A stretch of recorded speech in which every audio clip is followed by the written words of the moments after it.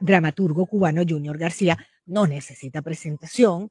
Em, él, como ustedes saben perfectamente, era una de las figuras prominentes del grupo Archipiélago que llamó a la protesta, ¿no? A levantarse los cubanos este 15 de noviembre contra el régimen de La Habana.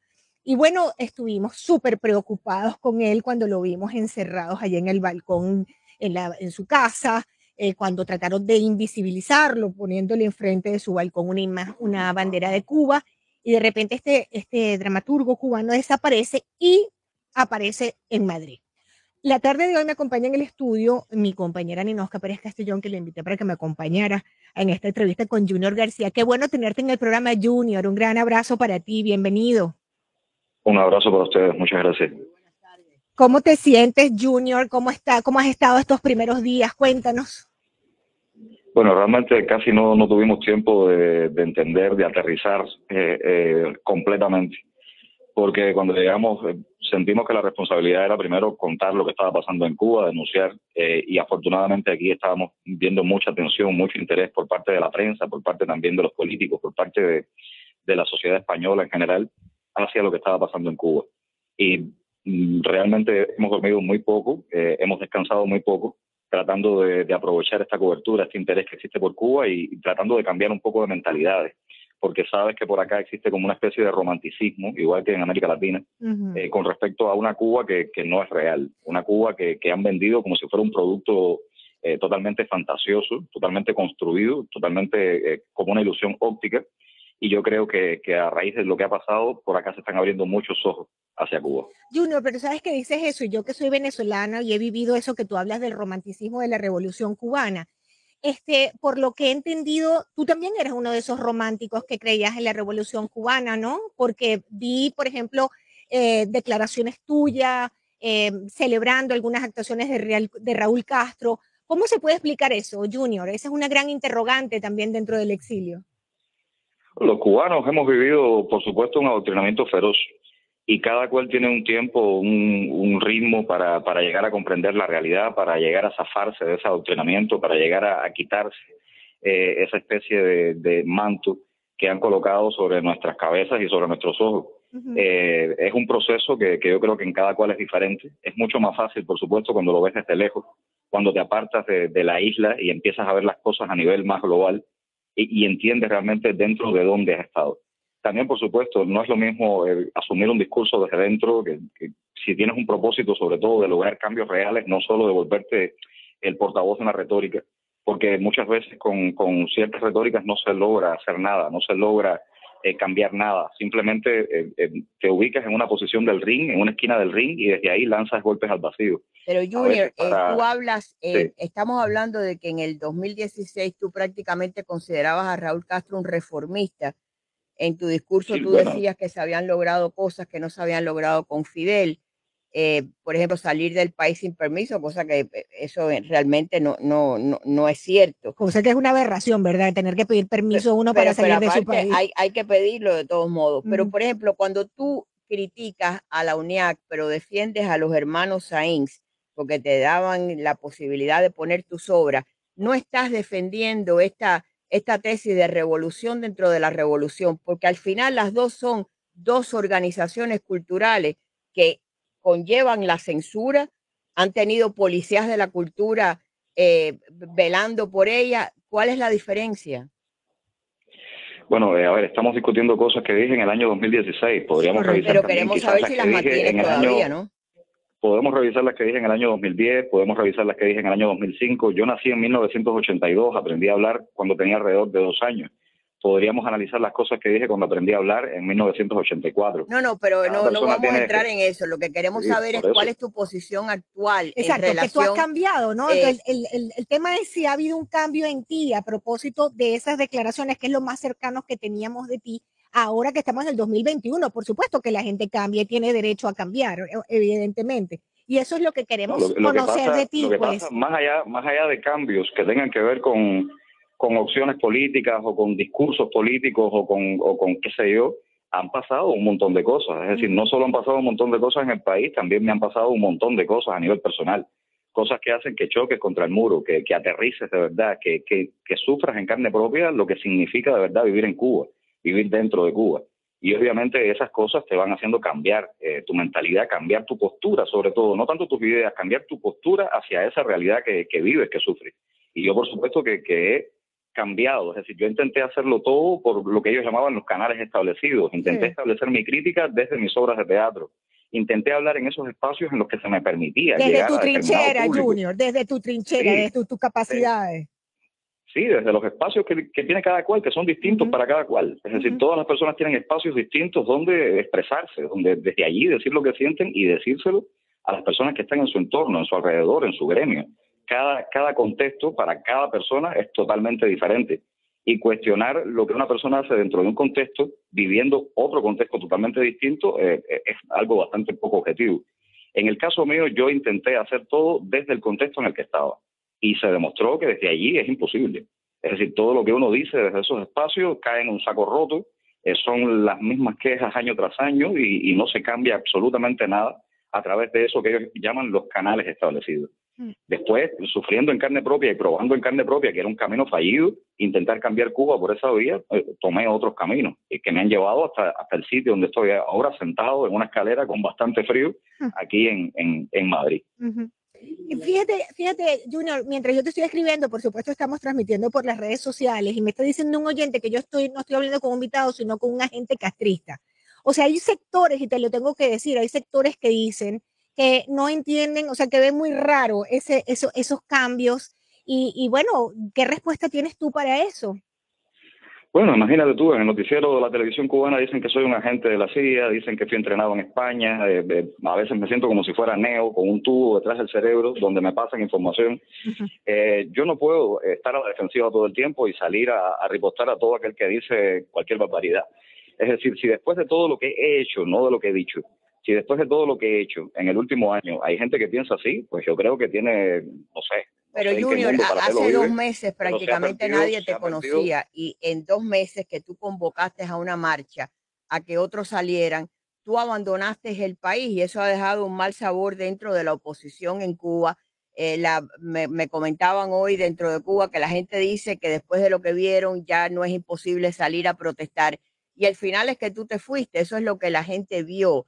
Eh, eh, ¿usted se fue alguna vez? Usted, nació, ¿Usted nació allá o alguna vez se fue? No, yo nací allí. Yo soy tan cubana los que dicen, los que lo dicen, ¿se fueron alguna vez o todavía están en Cuba? Pero no es que te fueras, es que uno no, convoca a ir a una marcha para después irte tú y dejar que otros salgan a ser arrestados. Es la, la, cuestión. el problema no es que, te vayas, todo el mundo tiene el derecho a irse. todo, el mundo, eso no te lo cuestiona nadie. Lo que muchos cuestionan es por qué convocar a una marcha a sabiendas de que tú tenías todo preparado para ir. ¿Tenías todo preparado, Junior, o eso fue algo espontáneo para aclarar ese punto importante? Cuéntanos, claro que no tenía todo preparado. Eh, bueno, si me dejan hablar, eh, yo espero amablemente. No, no, claro. yo había solicitado, sí, yo había solicitado una visa para España con la certeza de que el día 14 probablemente me iban a meter preso. Cuando comenzó mi día 14, yo no tenía visa todavía. Cuando comenzó mi día 14, yo no tenía planes de abandonar el país hasta, hasta que no cayera preso.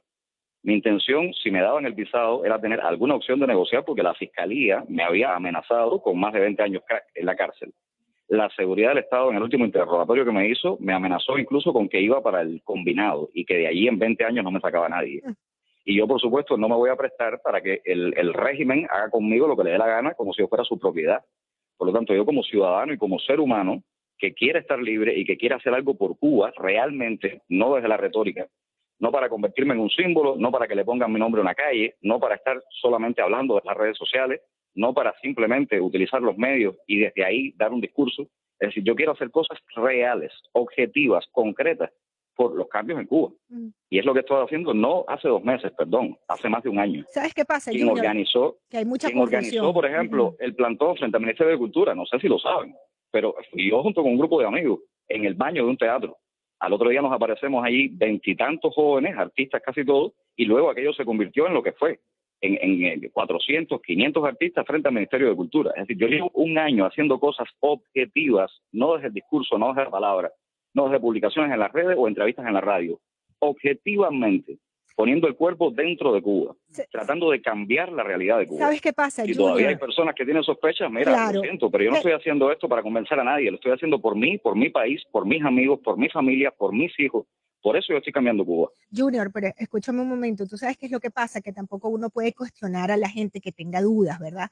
Porque eh, habían como habían como mucha esperanza puesta en tu gestión en esa convocatoria del día 15. ¿Y por qué? ¿Pero por qué no vinieron? ¿Por qué no vinieron? es decir, yo estaba esperando que el día 15 de pronto los aviones llegaran aquí repletos de cubanos y todo el mundo a manifestarse y todo el mundo a marchar. Es que cada cual podría cuestionar lo que hizo otro. No, pero escúchame. Todo el mundo podría cuestionar lo que hizo el que se quedó sentado en un sofá viendo la televisión esperando una noticia, esperando eh, con morbo, incluso algunos esperando que ocurrieran asesinatos, bueno, esperando pero eso es lo que asume toda persona eh, que, se, se, erige en figura pública, Junior, el, el cuestionamiento por parte de los que tienen que tomar una decisión si te siguen o no.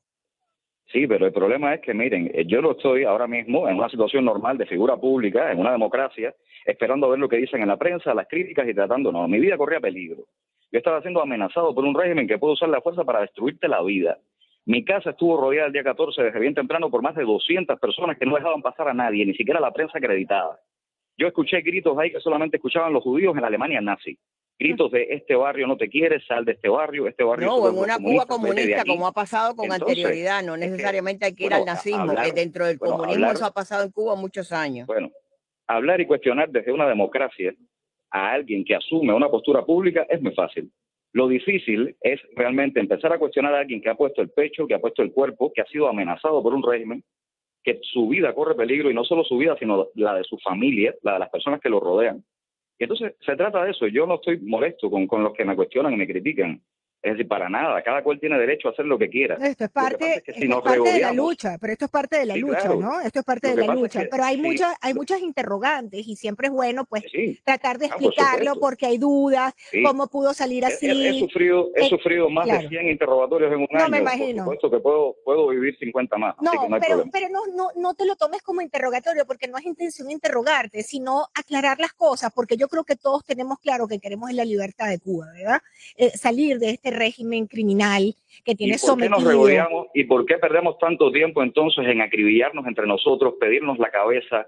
En todas no, estas no, nadie se pierde la cabeza. No, no, Junior, Junior, Junior. Perder el tiempo no, Junior, que nos entretienen. No, Junior, nadie te está pidiendo la cabeza, pero eh, escucha algo. Aquí en el exilio cubano hemos tenido figuras que han sido figuras importantes y, y, y notables y han sido operadores del régimen castrista. Te puedo hablar de la Red Avispa, te puedo hablar de maestros en el FIU, te puedo de la Universidad Internacional de la Florida, y así como muchísimos casos. Entonces, lógico que tras un exilio de tantos años, la gente sienta dudas de que un régimen criminal como ese te haya dejado salir así. o sea, hay que entender el exilio el arma fundamental de la dictadura. Esa ha sido el arma fundamental. La dictadura ha usado dos armas fundamentales que le han funcionado perfectamente en más de 60 años. Una es el miedo y la otra es la desconfianza. Mientras todos los cubanos sientan miedo y mientras todos los cubanos desconfíen del que tienen al lado, incluso de su pareja, incluso de sus padres, sus hermanos, sus hijos, sus amigos, entonces nunca vamos a hacer nada. Porque todo el tiempo vamos a estar disparándonos flechas entre nosotros en vez de concentrarnos en acabar yo creo que, es importante que tú expliques tus posiciones. Por ejemplo, tu posición sobre el embargo es una posición que al final y al cabo es lo mismo que ha estado buscando el, el régimen. Por ejemplo, cuando tú firmaste la carta. ¿De verdad te parece eso? ¿De verdad te parece que el régimen quiere salir de la excusa sí, el régimen ha, gastado su, todos sus recursos en que le levanten el embargo, porque una vez que le levanten el embargo, tiene acceso a créditos, que es lo que necesita para sobrevivir. Esa es una manera de mirarlo. Yo sé que tú lo miras de otra manera. el régimen sobrevive, el régimen tiene aliados, el régimen tiene quien le dé oxígeno, el régimen sí, pero el régimen ya no tiene a la antigua Unión Soviética ni México le da lo que necesita para sobrevivir. Necesitan los créditos bancarios, que es lo que llevan buscando por años. Pero bueno, esa es tu posición y tú crees, esa es tu posición y, y yo te digo la que otros tienen. Ahora, mi pregunta es cuando tú firmas esa carta dirigida a Biden pidiendo levantamiento de todas las sanciones que tiene el régimen. En esa carta firman funcionarios del gobierno de Cuba, firman ex agentes del Ministerio del Interior, que asimismo firman como David Orrio, responsable de llevar a prisión a, miembros del grupo de los 75. Eh, ¿Cuál es el propósito de, unirse a ese tipo de gente para pedir el levantamiento de las sanciones? No, no, no. Cuando yo firmé la carta, yo era miembro de articulación plebeya. A mí me dieron la carta directamente. Es decir, yo no, yo no es que me sumé a un montón de firmas. Yo leí la carta, me pareció que era eh, un camino nuevo, me pareció que era justamente quitarle al régimen la excusa que ha defendido durante años y que no solo le sirve de excusa, es que también le sirve para ese mito de ser el David frente al Goliat y toda la bobería esa que el régimen le ha vendido a media humanidad y que media humanidad ha comprado. Hay que ver simplemente todo lo que pasa todos los años en la ONU. El resto del mundo condena el embargo y solamente Israel y Estados Unidos lo defienden. Bueno, pues Entonces, son los únicos que han tenido vergüenza porque todos los demás países han sabido el, que, en Cuba se violan los derechos humanos. Esto no, se dio a conocer ayer. y se ha condenado a Cuba 17 veces ante la Comisión de Derechos Humanos por país violador de derechos humanos. Bien, bueno, cada cual, mira, perder el tiempo ahora hablando del embargo, de verdad, ni tú ni yo podemos hacer nada. con pero es algo que tú estás lo único que podemos hacer es hablar sobre eso. Eh, nos tienen aquí perdiendo el tiempo cuando tenemos que hablar de mil cosas importantes y nos tienen aquí justamente perdiendo el tiempo hablando del embargo. Hablar, Junior, ¿cómo te parece que Luis Manuel Otero Alcántara y el Esorbo rechazaron la oferta de la policía política castrista de libertad por exilio? Ellos están presos, están enfermos, tú... Me parece una actitud súper digna. Es decir, yo, yo precisamente me enfrenté a las autoridades, eh, renuncié a la comodidad de ser un artista que no se buscaba problemas, justamente por defenderlos a ellos cuando su huelga de hambre. Es decir, nosotros nos levantamos, los jóvenes cubanos nos levantamos cuando ellos estaban en huelga de hambre, aquella vez en San Isidro. Nosotros hemos hecho, hecho, todo lo posible por apoyarnos entre nosotros en Cuba. Cada vez que uno de nosotros es agredido, cada vez que nosotros corre peligro, nos hemos apoyado. Pero de pronto vemos que a veces eh, vienen flechas desde distintas partes contra estos mismos cubanos y muchas veces actitudes o expresiones de Luis Manuel han sido cuestionadas también desde allá. También ha habido sospechas, también se ha insinuado que pertenecía a la seguridad. Entonces, si seguimos en esa bobería, que realmente se lo tengo que decir, para mí es una bobería. Pero ¿qué es lo que tú consideras importante de lo que debemos de saber que tú estás haciendo, por ejemplo? Yo estoy denunciando aquí en España todo lo que ha pasado. Yo estoy, ahora mismo tengo que aprovechar la cobertura que hay, la atención que hay, que todos los ojos están sobre Cuba y que algo que no les interesaba para nada hace un año, ahora les está interesando. Y eso es lo que tengo que hacer. Esa, es, eso es lo que tengo que hacer aquí, no perder ni un minuto, no perder tiempo, no perder tiempo. Imagínate tú, pero, al final estás ahí haciendo algo que otros han hecho anteriormente y, y pidiendo que se le levanten las sanciones al régimen de Cuba. Entonces, eso es lo que uno cuestiona y lo que uno quisiera saber eh, realmente qué es lo que estás logrando. No que Cuba es una dictadura, lo sabe, eh, lo sabe España ah, entera y el mundo entero. Junior, eh, fíjate, disentir es parte del juego democrático, o sea, que, que, hayan distintas posiciones sobre el tema del embargo es normal, ¿no? Eso es, eso es una, además es un tema que es de, de amplia discusión pero, pero fundamentalmente lo que tú vas a hacer ahora, ¿qué es? ¿Qué piensas hacer? ¿Cuáles son tus planes inmediatos? Em, cuéntanos qué, a qué te vas a dedicar, cuéntanos un poco sobre ti. Bueno, yo me voy a dedicar el resto de mi vida porque ya no me queda otro camino, porque no tengo ningún botón para resetearme. Es decir, yo asumí este camino y lo voy a asumir con dignidad, incluso aunque me quede solo. Aunque, aunque, aunque me quede absolutamente solo, voy a seguir luchando por, por una Cuba democrática, por una Cuba libre, de la manera en que yo entienda, porque tampoco tengo que, renunciar a lo que yo entiendo por complacer a la mayoría o por, por aceptar lo que en algún lugar se convierte en criterio mayoritario. Es decir, yo creo que hay que defender el pluralismo, es decir, no basta ya de pensamientos únicos. No puede ser que después de estar luchando tanto tiempo contra el pensamiento único, uno termine cayendo en otro pensamiento único. Tenemos diferentes ideas, tenemos diferentes visiones de cómo cambiar Cuba yo creo que hay que respetarse y hay que aceptar las diferencias. ¿Tú crees que se puede cambiar esa Cuba dentro del mismo socialismo, del mismo comunismo? Mi vida, claro que no, el comunismo es un fracaso, por supuesto que no. ¿Quién está defendiendo el comunismo? Eso es una cosa absurda. Yo creo que nadie con dos dedos de frente en este momento de la humanidad defendería el comunismo en Cuba. Es decir, andemos de cosas serias. Estamos conversando con Junior García, amigos oyentes, no necesita mayor presentación, dramaturgo cubano, nos está acompañando desde Madrid, ha tenido la gentileza de darnos este espacio de su tiempo cuando en Madrid son casi las 11 de la noche. Junior, ¿por qué tú no le das un mensaje a la audiencia? Mira, este es, una, este es un exilio eh, muy largo, eh, que ha sufrido mucho y que eh, ha luchado mucho también por la libertad de Cuba. Aquí los cementerios están llenos de exiliados cubanos, llenos de banderas cubanas, de cubanos que pensaron que venían Junior para acá tres días y más nunca regresaron porque llevamos para 63 años de régimen eh, eh, criminal eh, castrocomunista, violador de todos los derechos humanos. ¿qué, qué mensaje tú le das a la comunidad? A los cubanos que están aquí, Junior. Yo respeto a la comunidad exiliada, respeto muchísimo a la comunidad que ha sufrido, que tiene un dolor real. Yo entiendo ese dolor. Por supuesto que desde el dolor eh, no se puede reaccionar de otro modo, pero los cubanos no podemos luchar contra una dictadura intentando reproducir esquemas que, se le parecen. Nunca más pensamientos únicos, nunca más partidos únicos, nunca más eso de implantar mi pensamiento e imponérselo a las demás. Hay que aceptar la diferencia. Los cubanos lo que tenemos que hacer, lo que queremos de verdad, cambiar la dictadura, no vivir del, discurso ni de la retórica, sino, sino acabar con esa dictadura y acabar de construir un país libre y democrático, tenemos que pasar por encima de nuestras diferencias, dejar toda la bobería esa de pasarnos el día fajándonos y tirándonos unos a otros, acabar de encontrarnos, acabar, acabar de hablarnos mirándonos a los ojos con honestidad, sin tanta sospecha, sin caer en el jueguito de la seguridad del Estado de que estemos desconfiando unos de otros y pensar en aquello que nos une, en aquello que realmente es un consenso entre todos. Junior, tú has hablado de que eh, tú la mejor dijiste que esperabas que no brindaran porque tú ibas a regresar a Cuba. Eh, regresar a Cuba implica que te tienen que dar el permiso para regresar, ¿no? Y te vas de esa Cuba que tú dices que tu vida corría peligro. Pero ¿por qué permiso si es que yo no he pedido asilo? Es decir, me Pero no importa, para tú regresar a Cuba tú tienes que tener autorización del régimen de La Habana. ¿O no? ¿Pero por qué? Porque tengo que tener autorización. yo soy un ciudadano técnicamente no deberíamos de tenerla, pero por ejemplo, ¿tú crees que tú puedes llegar al aeropuerto y montarte en un avión y ir para Cuba y te dejen entrar? No lo sé, pero lo puedo intentar, ¿verdad? pero entonces si lo intentas, ¿corría tu vida peligro o no? Sí, claro que sí, pero precisamente me estoy preparando, preparando para llegar con mucha más fuerza a ese lugar, para llegar con mucha más fuerza a ese momento. Obviamente no puedo decir por aquí, porque esto lo debe estar escuchando la mitad de la seguridad del Estado ahora mismo. Obviamente no puedo decir por aquí lo que estoy haciendo ni lo que pienso hacer. No, pero no tienes que decirlo, pero, pero yo espero que tú estés consciente que no regresas si ellos no lo autorizan. ¿Cómo? Que no regresas si ellos no lo autorizan. Bueno, ya veremos. Eh, eh, no, no podemos hablar ahora de lo que no ha pasado. Bueno. Es decir, ya veremos. Ya veremos qué pasa, pero esa es mi, esa es mi decisión. Yo en algún momento voy a regresar a Cuba.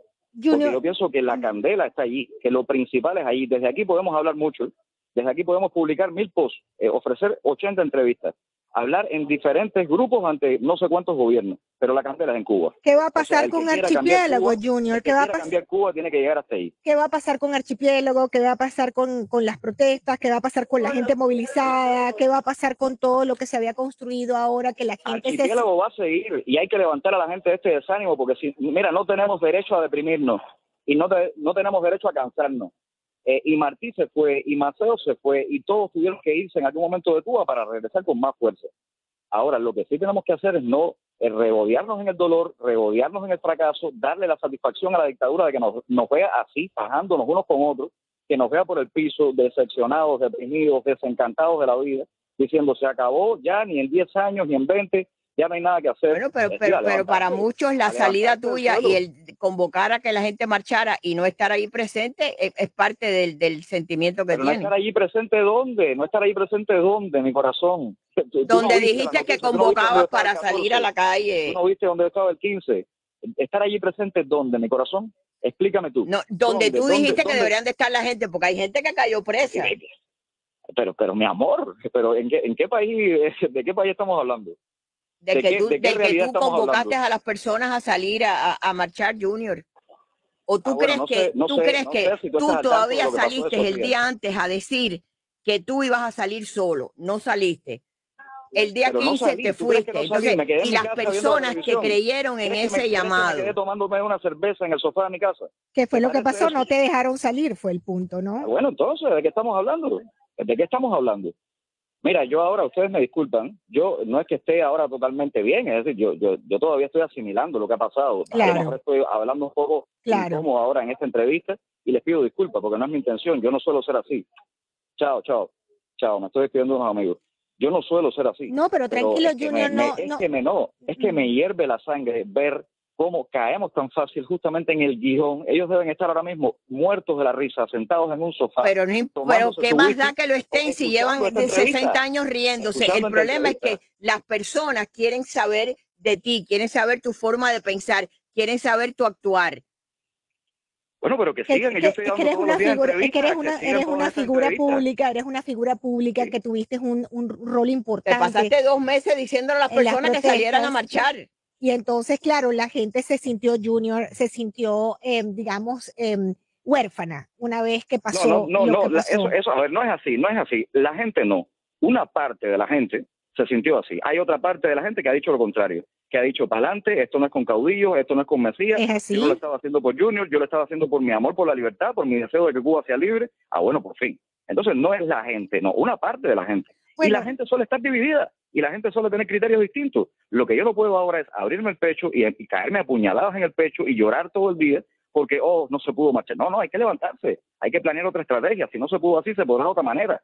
Pero no a llorar, no a llorar, no a lamentarnos, no a echarnos la culpa unos a otros. Yo no ando atacando a nadie en las redes sociales, yo no me meto con nadie, cada cual tiene su forma de pensar y su método de lucha. Ok, respeto para esa gente, respeto para todo el que quiere que Cuba sea libre de verdad.